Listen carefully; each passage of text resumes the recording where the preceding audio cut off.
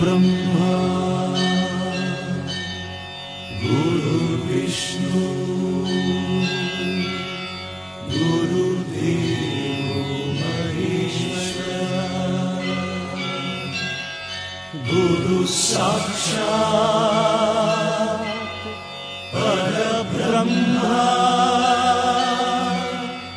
तस्मै श्रीपुरवे anécdotas